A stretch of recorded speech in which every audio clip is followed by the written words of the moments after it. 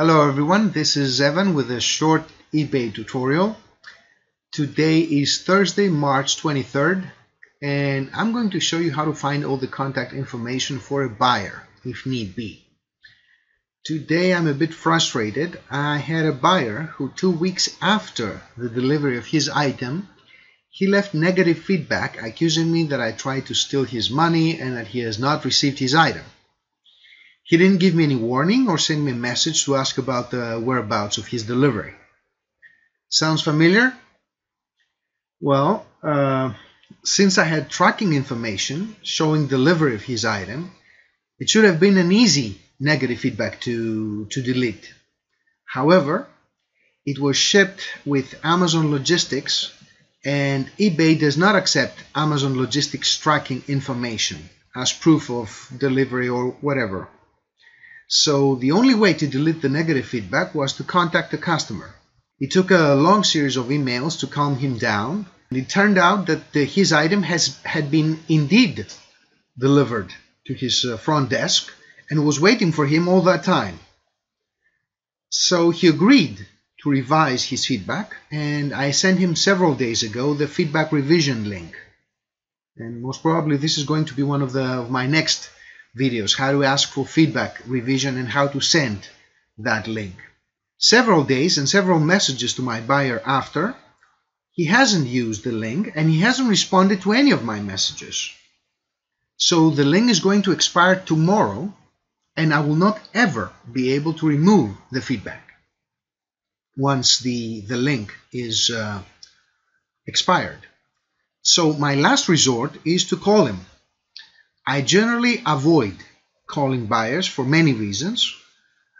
That's probably the subject of another uh, video.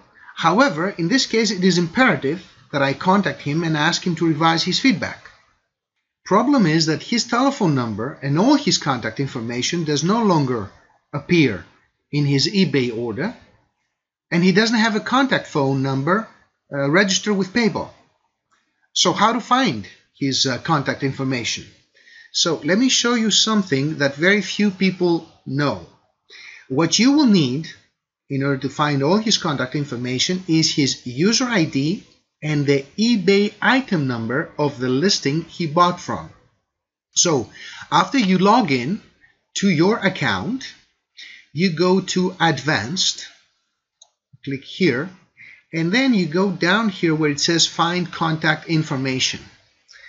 Clicking here will ask you for his user ID and the item number of the item he bought. After you click search, uh, nothing will happen, just a, a, page telling you that the contact information has been sent to you and in just a few seconds you will receive in your email something like this. So as you can see here, uh, you will receive an email uh, with the subject eBay user information request addressed to you and it will have all his information, user ID, name, and most importantly, his phone, his contact phone.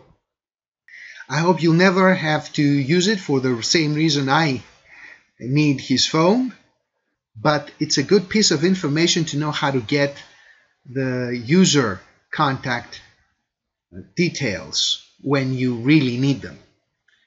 So this is it for this tutorial. Thanks for watching. Don't forget to subscribe if you want to be notified of my new posts. If you have any questions or comments, please ask them below and I will try to answer as quickly as I can. I will see you in the next video.